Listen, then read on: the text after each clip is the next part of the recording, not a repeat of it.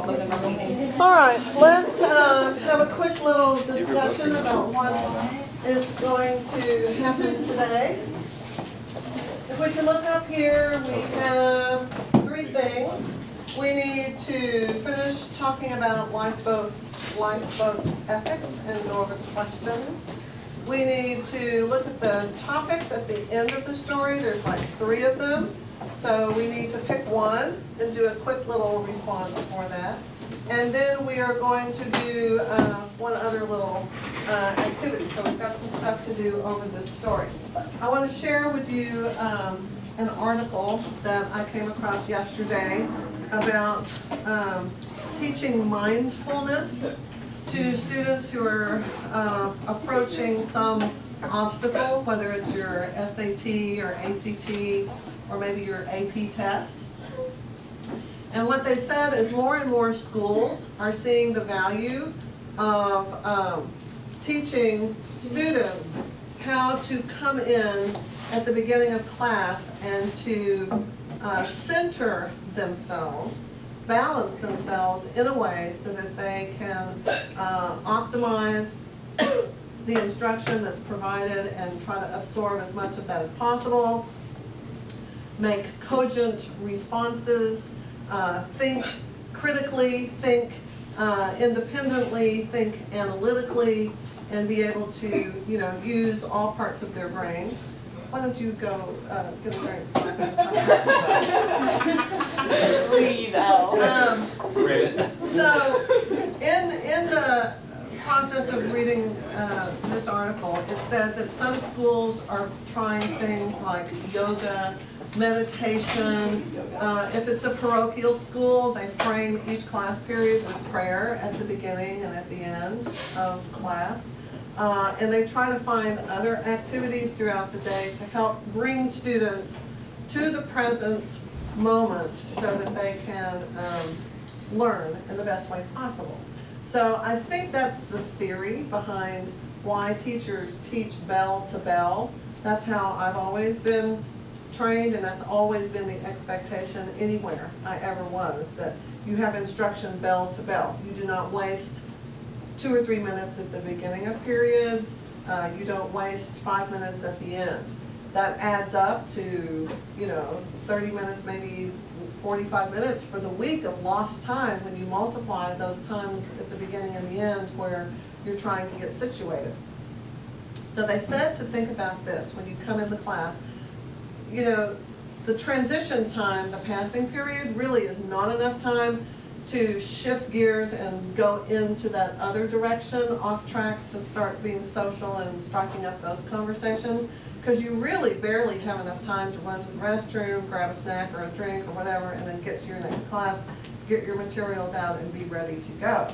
So you really kind of have to keep that flow of things. They talk about flow was another um, term that they used in the article, and they said, how do you achieve a, a state where you flow? Because I hadn't really heard that vocabulary in this context before.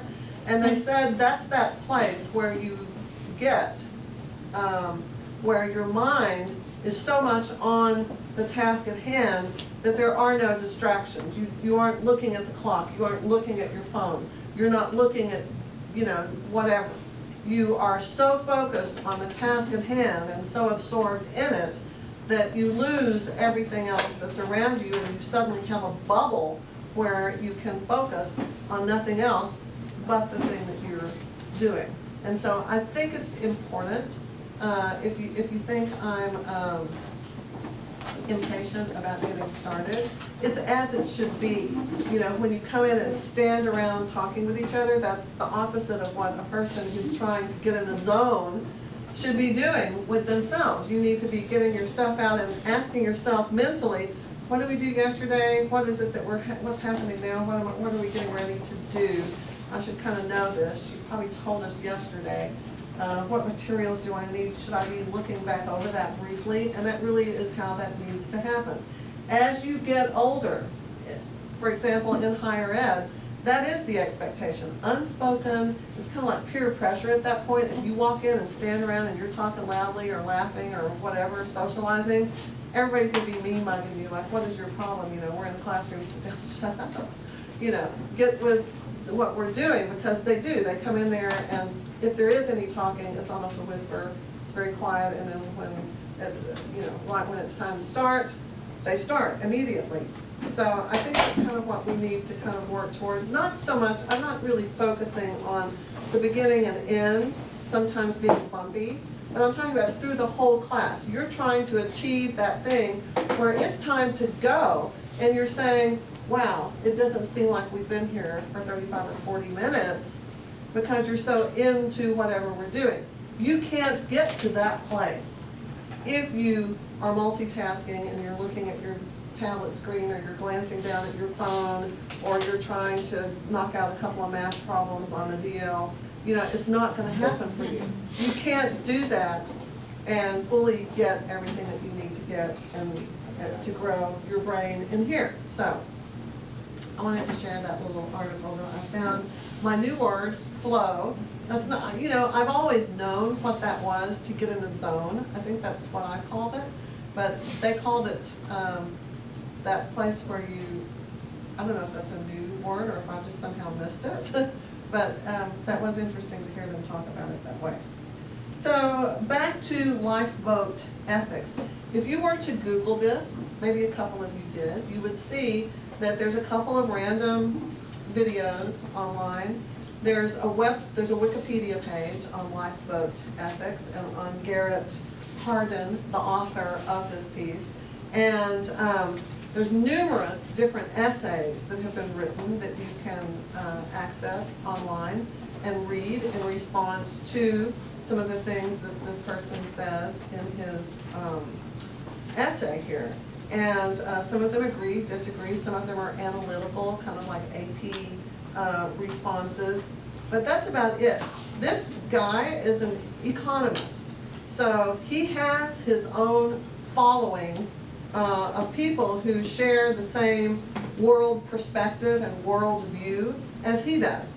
And really, you know, isn't that what we all do? We try to find um, compatible, common thinkers who agree with us, who validate us and say, you know, hey, that makes sense, that's right, I think you're right. I'm gonna be in this camp over here with you, so we're thinking these thoughts and these other people are thinking these other thoughts over there.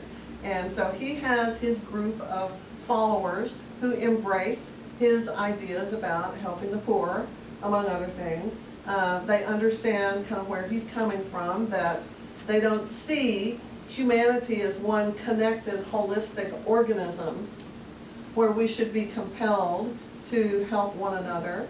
And kind of like in that first one about the train and the kid that was gonna get hit by the train, that article was to compel you to give, what was it, two hundred dollars or more if you can afford it, of just expendable cash that you don't have earmarked for rent or your own car payment or something, but to give any extra money you have instead of going to the mall, give it to make a, a discernible difference in a child's life that is starving or that is living in a disease, um, disease area where there's high risk that they're gonna, uh, be sick or some other war-torn situation where they need shelter. Maybe they're refugees.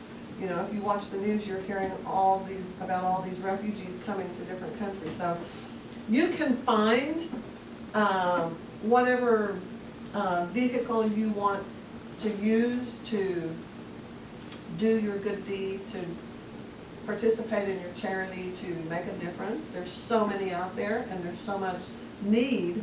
But this article is the flip version of the first one, saying, you know, that there's no way to do this. It is a hopeless thing. And he gives a lot of statistical numbers. As far as appeals go, I think the first guy relied, if you had to pick which appeal he used primarily, what was it? Pathos. Pathos. It was just a picture. And in this article, what does he do? Logos. I think he does. He appeals to reputable organizations, he quotes statistics and facts to show us that it's impractical to think that we're gonna make a discernible difference. It's impractical to think that there's a way to feed everyone. And he does a fairly decent job, I guess, of proving his point that if it's not possible to take care of everyone, we have to accept the, um, the consequence of that is that there will be people who will die. There will be people who do not survive. And in a way, that's kind of a culling, you hear, have heard that word used recently, like a culling of the population. It needs to shrink, it needs to be reduced. There needs to be some way where there's less people, so there's enough for the ones that are here. How do you make that happen, you know? That's, that's the plot of, uh, you know, movies about villains who have schemes to reduce the population by doing this, that, or the other. Um, there's a lot of, uh, movie scripts that are, are centering around that, that idea.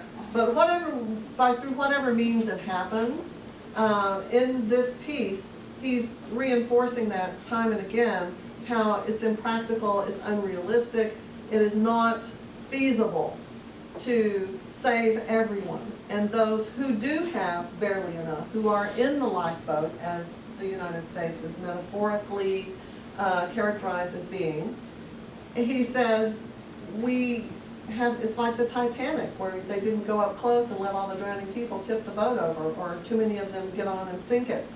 You have to kind of keep your distance in a safe way that's reasonable, do what you can, but at a certain point, you have to just sit comfortably in that boat and realize there's not enough for everyone. And that is a tragic thing, but it is reality, and that that's the way it has to be. If some people will survive, they have to guard and protect what they have.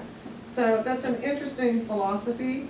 Um, I want to just look at one piece of this before we, uh, go on. I'm hoping that you read this carefully, uh, like you were supposed to, because there's things, for example, at the end about the Chinese fish and miracle rice and, uh, the effect of the, on the environment. Immigration is a big part of this. That's a hot issue, hot topic these days, immigration, and people feel very passionate about that in one way or another.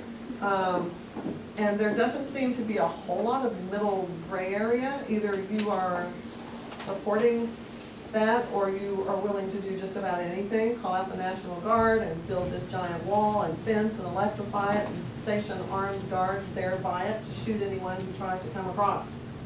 There's that philosophy and then there's the other one is that, you know, we have to, if they're, especially if they're children, we have to accept them, we have to care for them. It's the right thing to do, and they're, and they're not taking jobs.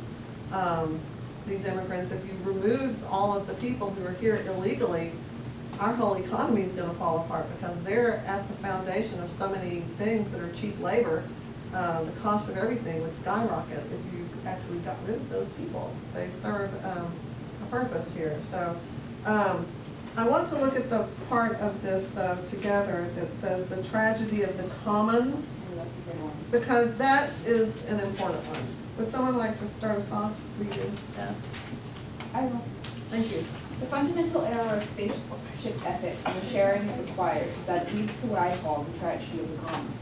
Under a system of private property, the men who own the property recognize the responsibility to care for it, for if they don't, they will eventually suffer. A farmer, for instance, will allow no more cattle in a pasture than its, its carrying capacity justified. If he overloads it, there erosion sets in, weeds take over, he loses the pasture. Pasture becomes a commons open to all, the right of each to use it may not be matched by a corresponding responsibility to protect it. Asking everyone to use with it with discretion will hardly do, for the considerate herdsman refers from overloading his commons suffers more than a selfish one, who says his needs are greater.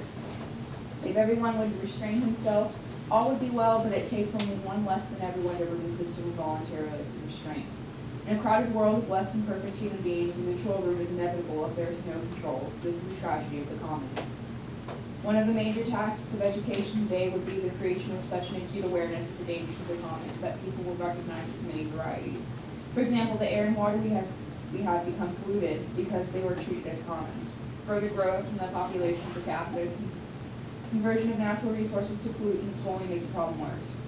The same holds true of the fish of the oceans. Fishing fleets have nearly disappeared in many parts of the world. Technological improvements in the art of fishing are har- hastening the day of complete ruin. Only the replacement of the system of commons with a responsible system of control will save land, air, water, and oceanic fisheries. Thank you. So the uh, basic premise uh, of this um, Commons idea is that people have to police themselves, act responsibly, act as stewards of their uh, environment, and um, do all of that. And he says that's not what we have seen throughout history, throughout antiquity. Time and time again, human beings have failed to exercise and demonstrate that kind of self-control. People have failed to be able to self-regulate. They do things to excess, they have little regard for others, they don't always think through consequences, they act irrationally, selfishly, in some way that would be uh, not as it should be. And he says it only takes a few people like that to ruin it for everyone else. It doesn't even have to be the majority. So with that in mind, and he gives the example of the fishing, how it's been replaced with more efficient means, and it's put a lot of people out of work, and how uh, our oceans are overfished at this point, and it looks very um, possible and probable that uh, in the future, if we continue along this path, this trajectory, uh, there will be uh, no fish in the ocean to have, to fish. They'll, will be gone, it will be depleted. There are some species that are already, have been overfished to the point of being extinct. And um, so he uses that as an example of how people don't um, know how to put the brake on and stop themselves. They just see profit. They just, they're greedy. They just see what they want. They see an immediate gratification, an immediate need, and they act upon that without any forethought about what's going to happen later, what will be the consequences later. And that's hard for people to do. Um, so I think that that's a good point that he, he makes there. Now let's go to the end and let's take a look at what I'm asking you to do as we move over here.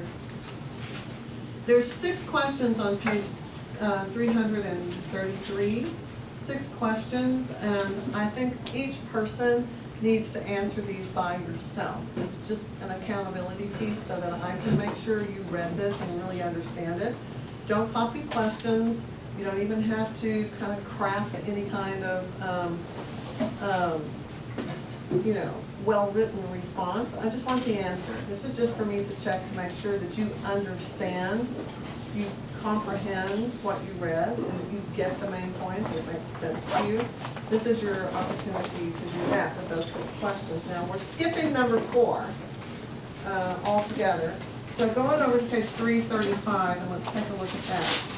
It says up here that on, on this part, we're going to look at the questions one, two, and three, and choose one of them and then write, oh, a half a page to a page. It doesn't have to be much at all. I would say just a good, healthy paragraph. Let's look at this for a moment and talk about kind of how we do that. Number one, how can the good life be lived well? Explain your position first by defining the term and then presenting your own view within the context of the sources. Now, this can be any of the uh, conversation pieces that we have read, the first, the second, or the third one. If you thumb back over here to the beginning um, of it, you will see the first conversational piece starts on uh, page three seventeen, the happy life. The happy life, and he talks about what it is to have the good life. And then the Singer's solution to world poverty, where he's saying we have to help, because we, it's the only moral thing to do. And then the third selection where he's saying we can't help, we can't afford the price of doing that. So the first question kind of relates back to one of those other, stories, and you would just write one little paragraph explaining what that means, uh,